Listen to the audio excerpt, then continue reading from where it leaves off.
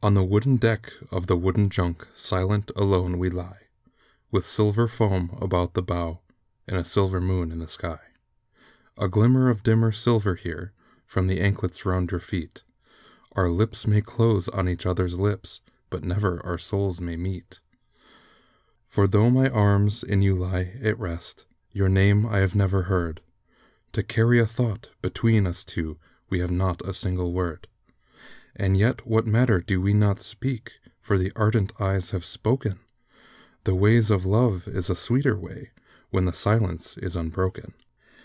As a wayward fancy, tired at times of the cultured damask rose, drifts away to the tangled copse of where the wild anemone grows, so the ordered and licit love ashore is hardly fresh and free as this light love in the open wind and salt of the outer sea. So sweet you are with your tinted cheeks and your small caressive hands. What if I carried you home with me where our golden temple stands? Yet this were folly indeed to bind in fetters of permanence a passing dream whose enchantment charms because of its transience.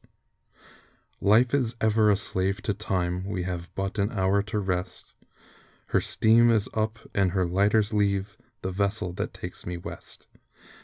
And never again we two shall meet as we chance to meet tonight on the junk whose painted eyes gaze forth in desolate want of sight.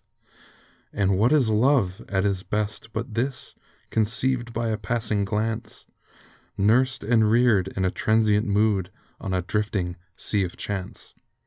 For rudderless craft are all our loves among the rocks and the shoals.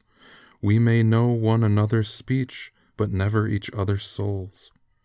Give here your lips and kiss me again, we have but a moment more, before we set the sail to the mast, before we loosen the oar. Goodbye to you, and my thanks to you, for the rest you let me share, while this night drifted away to the past, to join the nights that were.